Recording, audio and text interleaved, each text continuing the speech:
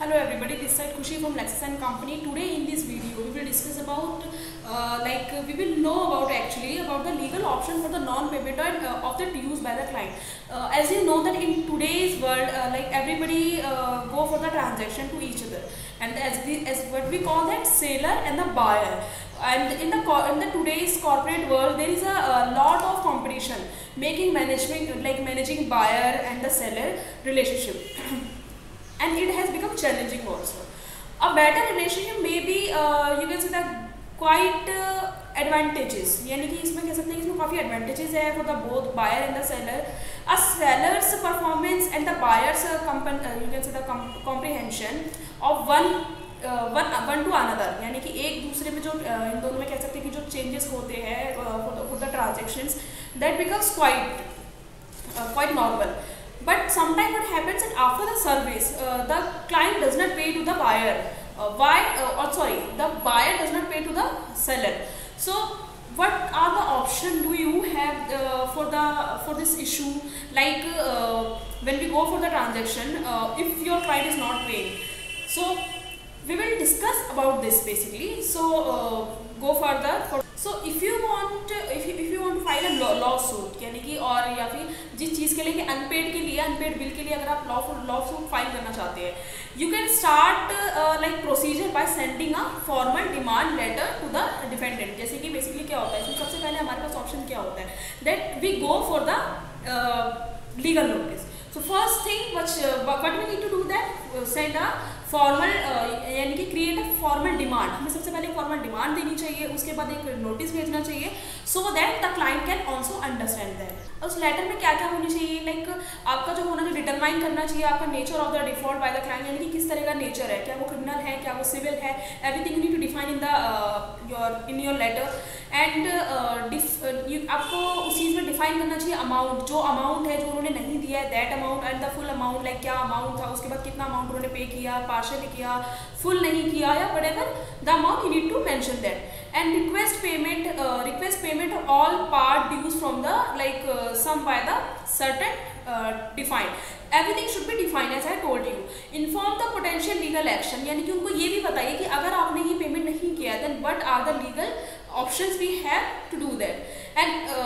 also inform the potential legal action by what they can understand that कि क्या क्या remedies उसके पास है, अगर मैंने उसको नहीं दिया अपना bill basically so this is about that now the legal action like what kind of legal action you can take about so remedies अगर देखी जाए तो इसमें ऑर्डर थर्टी सेवन की सी आर पी सी ये पावर देता है like party को who wants to recover his money जो यानी कि आपका जो सेलर होगा, उसको उसको पावर देता है कि अगर कोई आपका जो क्लाइंट है, वो आपको पे नहीं कर रहा है you can go with this this decision ये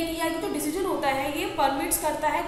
to file a straightforward lawsuit after the summon and the lawful filing यानी कि आपने लॉफुल फाइलिंग कर दी सब कुछ कर दिया उसके बाद डिसीज़न जो होता है consider as you can say the speedier trial यानी कि इसको स्पीडियर ट्रायल कहा जाता है। अगर थर्टी सेवन के अंदर जाते हैं तो हम।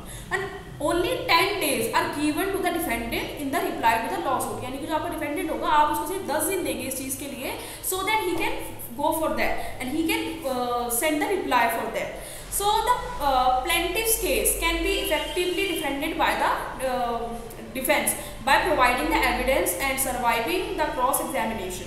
if the court uh, finds that the defendant did not take any uh, credit or the plaintiff यानी कि तो मान लीजिए कोर्ट ये चीज़ देखते हैं कि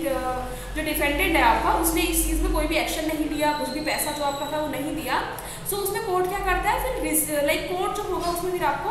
आपके फेवर में बेसिकली जो जो भी चीज़ें होंगी जो वो मतलब एक तरीके से आपको ही डिफेंड करेगा।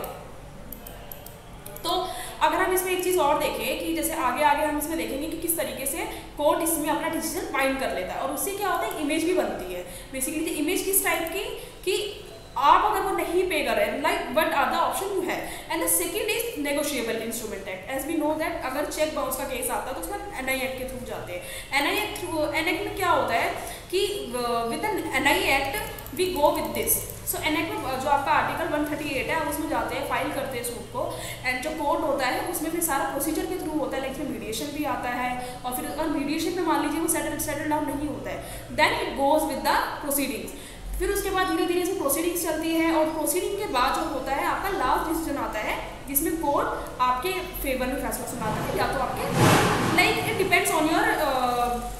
evidence कि आपने क्या क्या एविडेंस प्रेजेंस की everything court will see on that So Negotiable Instrument Act 19 uh, sorry 1881 regulates a uh, situation where the